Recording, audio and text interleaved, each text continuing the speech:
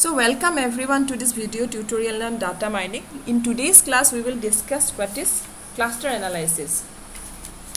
Conceptually meaningful groups of objects that share common characteristics play an important role in how people analyze and describe the world. Indeed, we human beings are skilled at dividing objects into groups or clusters. For example, even relatively younger children can quickly label the objects in a photograph as building, vehicle, animals or plants etc. So in the context of understanding the data, clusters are potential classes and cluster analysis is the study of technique for automatically finding the classes. So cluster analysis divides the data into groups or clusters that are meaningful and useful. If meaningful groups are the goal, then clusters should capture the natural structure of the data. So to define cluster analysis formally, we can say that cluster analysis groups data objects based only on the information found in the data that describes the data objects and the relationship. For example, if we consider this data, so we can say that this is the first division cluster, this is the second division cluster, this is the third division cluster, if these are the students. So, this first division means is greater than 60% the per performance marks of the students percentage of the students is greater than 60% second division means is greater than 50% but less than 60% 60% or third division means is less than 50% so this particular informations are taken from the student itself okay?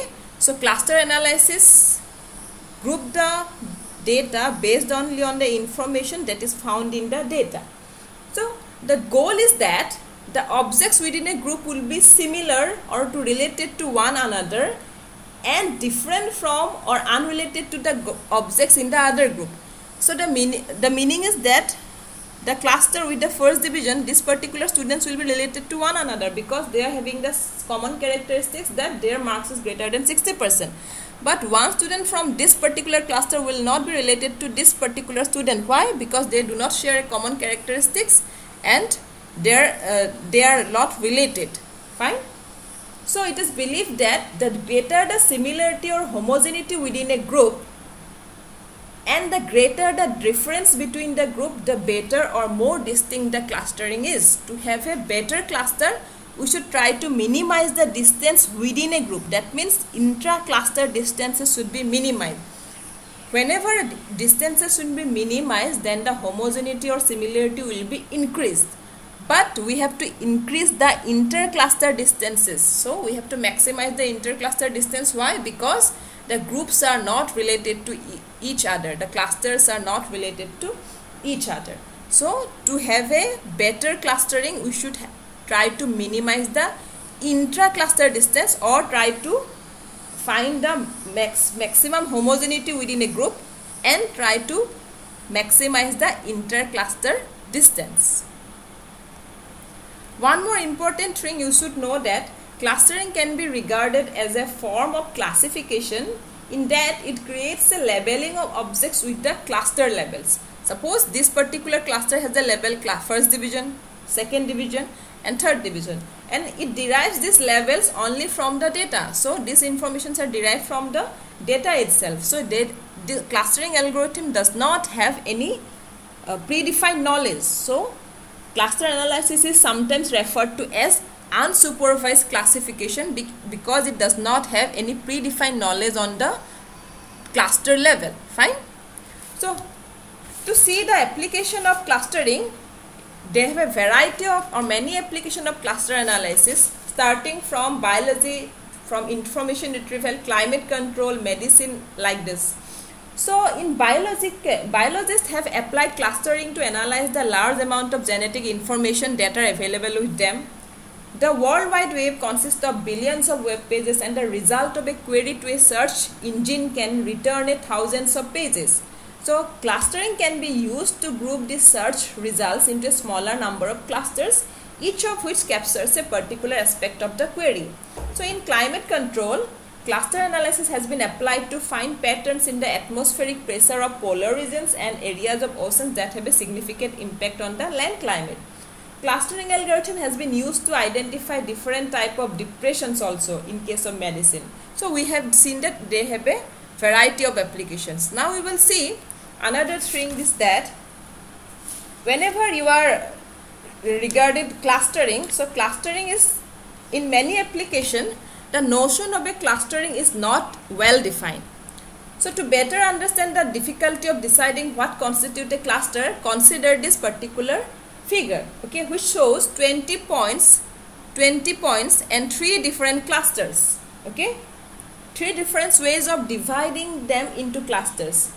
The shapes of the markers indicate the cluster membership. So you can see that in the first thing we have six different six clusters. We have divided this particular data into six different clusters here we, we have divided the data into two different clusters and here we have divided this data to four different clusters. So what do I understand from here is that the same data can be divided into different clusters. It's somebody can divide it to six clusters, somebody can define define these 20 objects to two clusters only or some other algorithm can define this particular data to four clusters. So notion of a clusters can be or not clear or it is ambiguous.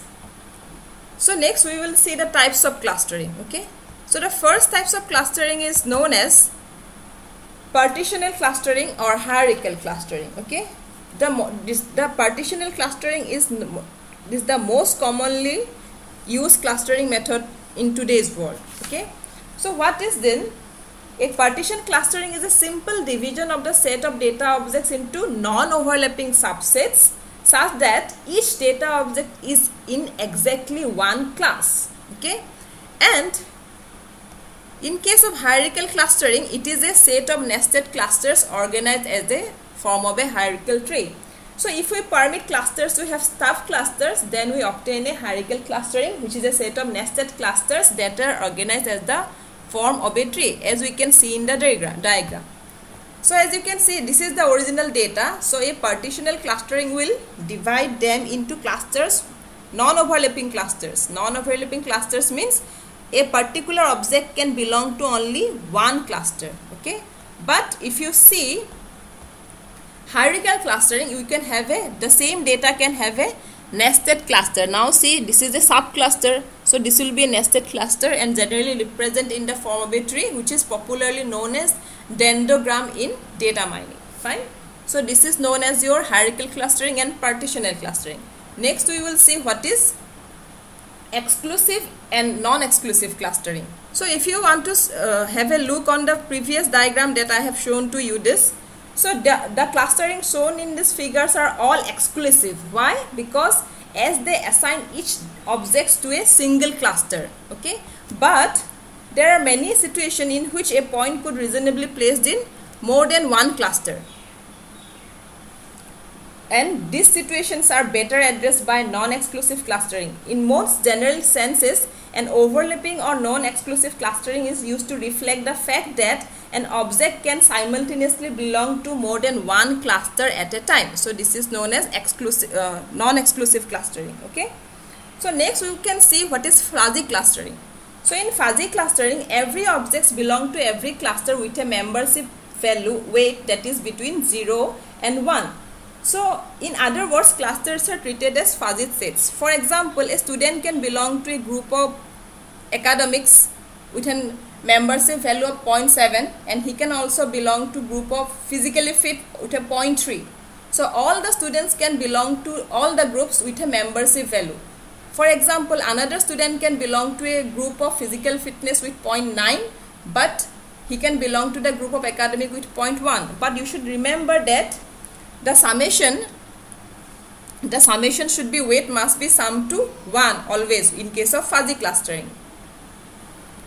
A partial clustering will assign only some data to some cluster while a, while a complete clustering assigns every data object to a clusters okay? The motivation for a partial clustering is that some objects in a data set may not belong to a well defined groups. Many times objects in the data set may represent noise outliers etc so hope you understand what are the different type of clusterings